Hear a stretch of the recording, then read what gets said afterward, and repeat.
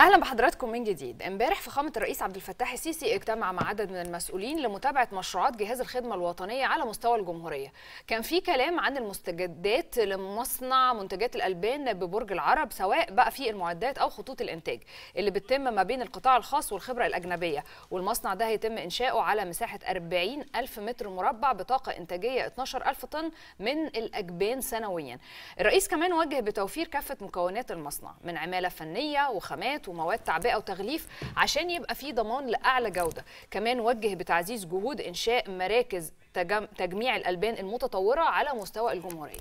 ده هيقلل طبعا من استيراد الألبان وهيحقق قيمة مضافة لصغار المربين والاجتماع برضو عرض الموقف التنفيذي للشراكة بين مصر والأردن لتنمية الثروة الحيوانية. وإنتاج الأعلاف لتغطية السوق المحلي وهيكون في توفير لسلالات بإنتاجية عالية من اللحوم للسوق المصري. وده هيحافظ على مخزون استراتيجي من الرؤوس الحية في مصر بجانب تخفيض الاستيراد.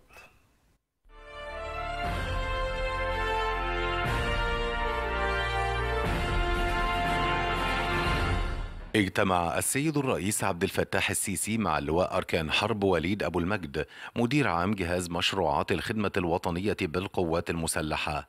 واللواء محمد صلاح رئيس مجلس إدارة الشركة الوطنية للإنتاج الحيواني.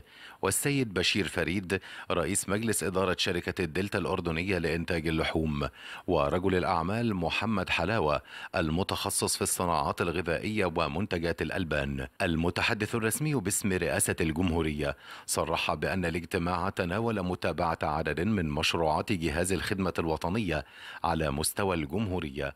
وقد تم في هذا الإطار استعراض المستجدات الإنشائية لمصنع منتجات الألبان ببرج العرب خاصة ما يتعلق بالمعدات وخطوط الإنتاج والتي تتم بالشراكة مع القطاع الخاص والخبرة الأجنبية العريقة في هذا المجال حيث سيقام المصنع على مسطح 40 ألف متر مربع وستبلغ طاقته الإنتاجية 12 ألف طن من الأجبان سنويا. وقد وجه السيد الرئيس بالتدقيق في توفير كافة مكونات المصنع من العمالة الفنية المتخصصة والخامات ومستلزمات الإنتاج ومواد التعبئة والتغليف لضمان أعلى مستوى من جودة الإنتاج للأجبان.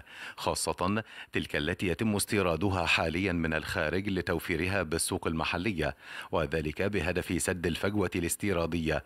كذلك فتح آفاق لفرص تصديرية مستقبلية. كما وجه السيد الرئيس بالاستمرار في تعزيز جهود إنشاء مراكز تجميع الألبان المتطورة على مستوى الجمهورية مع تدعيمها بوسائل الاختبارات المعملية والتخزين والخدمات البيطرية اللازمة وذلك بهدف تقليل الاعتماد على استيراد الألبان وتحقيق قيمة مضافة لصغار المربين. وأضاف المتحدث الرسمي أن الاجتماع شهد أيضا عرض الموقف التنفيذي للشراكة بين مصر والأردن لتنمية الثروة الحيوانية وإنتاج الأعلاف وذلك بهدف تغطية احتياجات السوق المحلية.